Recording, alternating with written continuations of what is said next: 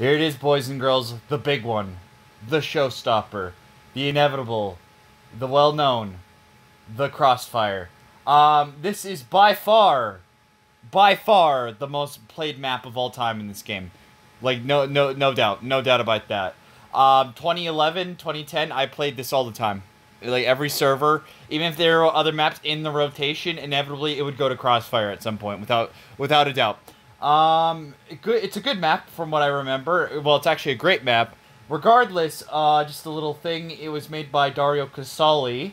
Uh, it was added into the game in patch. I don't know how I'm going to say this. 1.0.0.8, which was released on January 13, uh, 13th, 1999. Uh, alongside a few other maps were released that day, actually. And yeah, we'll just take a look at it. The thing about this map is that it's uh, split into two areas. This kind of little, we'll call this the square, the plaza, where a lot of action, and where this is where the only spawns are, actually. This is where all the major action takes place. And if you lead into the tunnel or go through this building here, you'll eventually get to another area that we'll take a look at. We're going to talk about this one first, though, because this is the one you're going to be spending most of your time playing this map in this level. Which I'm also just going to point out real quick. This is Dario Casali. He has stated that this is his proudest achievement in Half-Life Deathmatch, so keep that in mind while we watch the map. I'm going to get one thing out of the way almost immediately, because someone's going to, like, probably expecting me to ask this. Let's go to this building first, and I'll tell you right now, in this corner, right here, I'm 100% certain that there is a blocked off entrance to a hidden room that you cannot get into in the final version. Um, I'm bringing this up right away because people on the internet, like in the early days, would spend forever trying to get this stupid thing to open, from what I understand. Um, and it was basically just a case of they just uh, Dario Casali was ordered to take it out right before they needed to get the map out, so he didn't have time to remove it, just block it. I have played on servers that either through server-side mods have brought it back, like opened it up, or or just absolutely, like, there's another version of the map, I believe, that actually just has it open. I'm 100% certain it is that building right here. Because this is the north... This is the most northwest map in the... Um, part of the map. Anyway, let's actually talk about the damn thing. So as you can see there, a lot of these buildings look the same, but they're all slightly different. It's a bit similar to uh, Boot Camp in that regard. Starting with this one, you got a crossbow up here, which is great for sniping. I don't need to tell you that in this map. Um, you can jump across these windows. That's one of my favorite things about this map, is jumping between the buildings. Obviously, it's not so good if you fall down and, like, you know, lose your space. Get an RPG here. There are a lot of RPGs in this map, I might add. You can jump to yet another building from here, which is fun. Good time guaranteed for all. Uh, there's a lot of elevators in this map, which all are fast, and they don't take too long to go up and down, so I, I'm, I'm very much in favor of that. Yet another RPG. Get the Gauss Jug here. One of your best weapons, of course, because, you know, especially if you're playing with few people, jumping around and trying to dominate people with this thing is an indescribable feeling. You, like, you can get to another building from here. Let's go this way. We're gonna... No, no, no, no. Let's be... Let's go back first. Let's do the back first. Um, we'll go here. There's a long walkway around this one. But before I forget, you can go into this uh, small area here. If that wasn't up there wasn't the way to get to the secret part of the map, it was down here. I cannot remember for the life of me. In fact, I'm almost 100% certain that the entrance to the hidden room is right here. Now that I think about it, something about, yeah, something about this lighting just doesn't add up here. Pretty sure it was right here. Well, I'll show it off later after in uh, using cheats. Don't worry, I, I'm not. I'm not just gonna. I'm not just gonna hint it. I'm gonna show it off. So anyway, this is a pretty big building right here. Um, if you want to just get to the other next building from here, you can do so. But if you want to get up, you can get in here. Get a revolver. The revolver is also terrific on this map. There was one down where I started, but obviously, you know, sniping with this thing anywhere in this map is terrific. If you go through here, get some grenades. This is, the thing about why this map is so good is that almost every weapon has really good, like, you know, pri like, you know, you know, reason to exist, if that makes any sense. Some maps you play, you see weapons placed in certain areas, and it doesn't the map the weapon being placed there doesn't make a whole lot of sense. Like for instance, like a shotgun, it, that shotgun in Undertow that was kind of like a higher up area. There's not really a reason for that to be there. Here though, every weapon feels like it needs it's a, a good spot to be. Like here, the submachine gun. I can take you down, start blasting, or I can start firing, get some easy kills in the courtyard. See? See what I mean? It's just good placement. Oh, revolver. Well, I could go snipe with that right away. That's why this one is like, you know, what this map does really well. Get those satchels. Now, here's where I started, just for posterity's sake. Moving on, we're gonna go to this building here, which has two little areas. The left one is mostly just for a hive hand, which even this could be a little bit useful for, like, you know, just firing out and trying to, like, you know, damage people from afar. Got a shotgun. Good time guaranteed for all. Another crossbow. Another SMG. And yet another Gauss. There's a lot of weapons. There are so many weapons in this map. I'll talk about this area in a bit. Get the health kit for that eh, that their health pickups, because you know that's important. Here's leads to another another way to the building we'll take a look at later. That's not good. First, we'll go back this way. So from that was uh yeah from here you can land on this power generator, which could be a little bit helpful to like lessen your fall. Get away, Snark. I'm not I'm not part of this violence. Get the Gauss here. Very very very good weapon on this map. I don't need to tell you that though. Charge up right there. Oh, SMG too. Also hiding spot.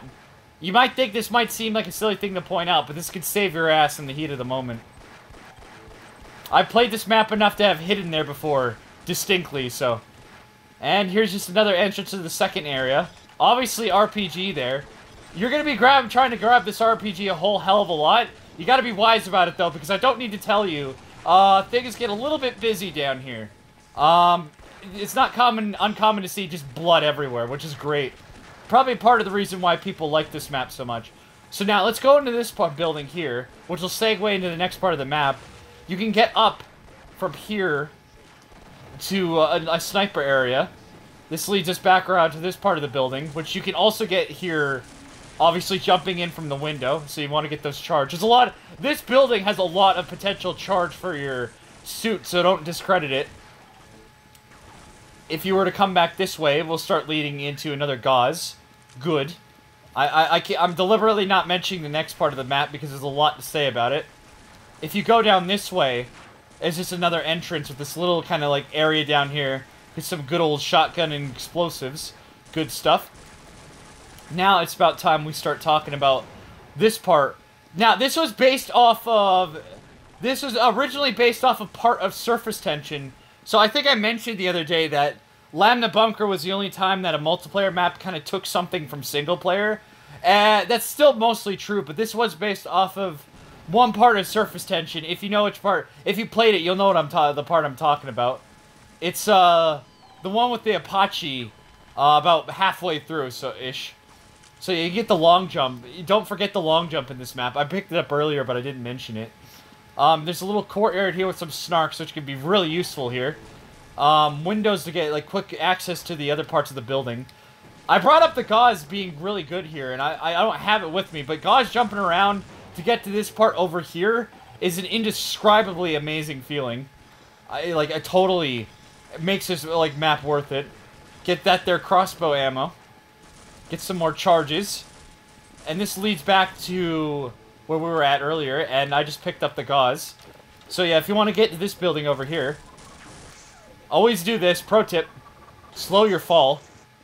Um, and from here, this is where the basis for this map came from because Dario Casali wanted to make a map with a strong emphasis on a part of the player would want to uh, a, a, def- a part of the map with strong defensive capabilities that the players would all want to get to. Uh, the bots don't really have the same initiative, but people will be trying to come over here eventually for reasons we'll get into real quick. Now, up here, on both sides, you get these explosives. Uh, very useful. I don't need to tell you like, the the merits of explosives. Um, one on each side. Also on each side, I'll just show this one off for posterity. Uh, yeah. Boom, boom. Uh, each side's got a little duck and cover area here. And there's also, on both sides, a place you can fall into bunkers with. This is a symmetrical area if you couldn't figure that out. See, over here. And obviously, you snipe is good stuff here, too. Always try to do that. You got a lot of health pickups. Like, a lot. I, I say pickups, I mean wall charger. I'm an idiot. Use these, because, like, you know... By the, like, you know, they do recharge over time, so, you know, just... You know, you're going to be able to get, like, a whole full health and stay full health if you know what you're doing. Now, this door is very important as we go into the back area. Keep that door in mind. A shotgun on both sides. I just, I'm actually going to double check, because I, I played this map, map a lot, but I always doubt myself. Yep. And here, a shit a shit ton of just pickups for, like, you know, all the weapons you want, along with some satchels. I'll go show it off here. Like, again, like I said, completely symmetrical, so it doesn't matter too much which way you go. Now, this button's interesting. You're to see that right here. Um, if you press this, you start wondering what the hell is going on. And something closed up there, the command, the little panel. Well, this is to start slowly closing here. Um, and this would be the cue. You can hear this little horn from everywhere in the map. And see, what they want you to do is kind of defend this, especially if you're on the team mode. They want you to defend this area by, like, trying to keep people from rushing in and exploding and stuff like that. Um, and you'll see why in a second. I should mention a little uh, trivia. The cannons weren't here in an early version of the map, but um, Brett Johnson convinced Dario Casali to add him in. So what happens when uh, you uh, are outside while that closes? Well, you hear that? Let's go take a look, if I can make it in time. Imagine fighting all around, hearing that go on, and then boom! Everyone is dead! Everyone dies and they lose a frag, and that's actually about it. To be completely honest, if I have one complaint about this map, is that that doesn't have more consequence for being caught in that. Yeah, sure, you'll lose it for, like, you know, a point, because that qualifies as a self-destruct to the game. But that doesn't really matter too much in the long run of things. In fact, often I would activate that just for shits and giggles, the, uh, the airstrike, and just come back and start killing people. And, like, you know, just get frags that way, because you don't get credited for the kills from this thing, so it's a little bit pointless. Now, just to show real quick before we end things, you can't crawl through that. That was another thing I forgot to point up. Um, you can't just keep spamming this thing because if you see, it eventually closes up. So that prevents, like, you know, just constant barragement. Uh, and yeah, that's Crossfire. We're going to go play it in a second, but first let's let us show off some other stuff.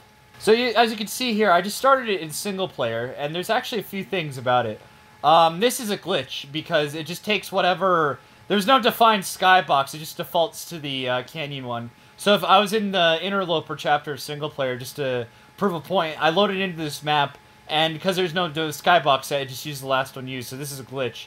Now, don't think that there's any meaning to have, like, the reason for these guys to be here, the security guards. I think they were just there to test the um, blast radius of the, like, airstrike. Dario Casali just placed them there. Because obviously that one's not going to die. I know there's at least two more somewhere in the map, and they're obviously going to die if they get caught in the blast. I always hate playing this game without the HUD. It just feels naked. Now, let's activate good old server cheats there. Here it is. Just to prove I'm not an idiot, it was here. I do believe it's down here. I am pretty certain I goofed up earlier. Yes, yes. Okay, I had a distinct memory of climbing this up. Like, you know, I don't know why I thought it was... I thought it was higher up. But no, it's down here. And I have played... And yeah, that closes if you're in here. I have totally played this map with that door open. I'm sure a lot of people have played this map with that open. And as you see, it just leads to a lot of charges and crossbows. Uh, yeah. So yeah, this just got removed because of, like, lack of time. As far as I'm aware. It's, it's real easy, I would imagine, on a server side to just have some sort of, like, you know, server command to keep that open. Someone who knows, like, you know, how the servers in this game, like, operate a bit better than I would, would probably be able to explain that. Yeah, see, he's gonna die if that goes off. Or he could just die now. Sorry. Anyway. Now, I'm only playing with 8 people because I'm a weirdo, but, you know, uh, 32 people on this map will work just fine. This map was designed for, like, you know, larger teams as it is, or, like, larger people. If anyone ever wonders why I never played team play in this game, it's just because I feel it isn't as refined as you know a, a team play should be. I mean, that's the way I feel about a lot of older like deathmatch focused games. Like you know, it, the, like it's like you know what I mean. It's like one of those older ones where the team you'd be on would be defined by your player model. Like you could always set that on the server side to not do that, but still, it's just weird like that. You know, every like the spawns are like random still, so there's a bit. It's a bit harder to actually coordinate and team up. I liked it in something like Quake 3, where you know, like you know, there's a specific mode for it and like specific spawns, and you all kind of spawn closer together. Or like hell, even to bring up like COD 4 or something like that, where you know, you all you're like the teams are on two sides of the map, like opposite each other, and they switch occasionally. I like that. When it's just kind of random, it just doesn't really do it for me. This map actually was designed with team play in mind specifically, hence why there's a lot of defense focus. Uh, Valve has also gone on to say that this is their favorite map for team play. I might add, so... Also, I'm doing a terrible job. Wow. Yeah, you hear all the sounds in the background right now, though? That is totally the experience right here. If you played this map, you're gonna hear the, god, like, you know, the sound of the Gauss firing, rockets going off, uh, crossbow bolts missing you, that donk sound, and then the er, er of the, like, you know, the siren. It's gonna be permanently ingrained in your brain. This is another one of the maps I played where I was like that one mod where you start with all the weapons and stuff like that I brought up in uh, Subtransit. I'm pretty sure the same mod like that, like server that would have that mods would also be the ones that opened up the uh, door to, to the secret area. But I, I swear I played like the vanilla-esque maps where it's just been, or vanilla-esque servers where it's just been like it, as you see now. Yeah, I'm gonna go activate the thing. Why not? I might not even. It doesn't. It's not actually available to open right away either. I might add. Uh, when the like the round starts, you have to give it a bit. I don't know if I've spent enough time dicking around. Nope. Well, I'll just go back. That's my only real complaint about this map. Is if you like you wanted to do that and no one's out over here, then it kind of gets boring. That doesn't usually happen on a real server though. On a real server, people will be trying to head out here to dick around and try to activate that. For no other reason, because a lot of times it's free-for-all on the servers I play it on anyway. Just to, like, you know, for shits and giggles, basically. I think that's how most people play this game. This isn't super competitive, like, you know, game number 25. So a lot of time people would just play for, like, you know, the, the thrill of the kill, if you will.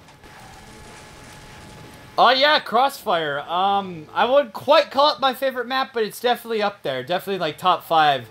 Um, I just prefer a map that's a little bit less chaotic overall. Or less focused on one area, you know? That's me.